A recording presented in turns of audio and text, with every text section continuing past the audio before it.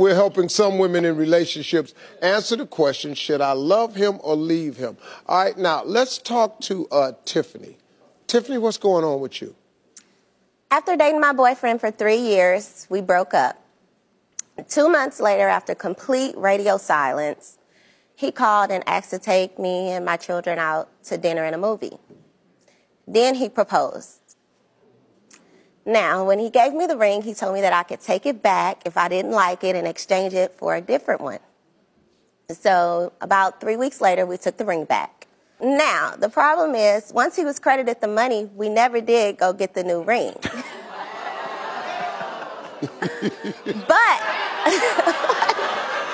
wait, wait. However, He played you.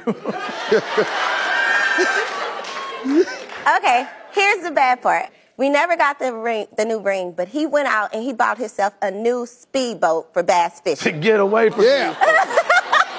you. To get away. to get away. oh Lord! Now my kids love him, but I'm not sure if I should stick with them because I still haven't got my new engagement ring. so do I love him or leave him? Ah. You know what you need to do.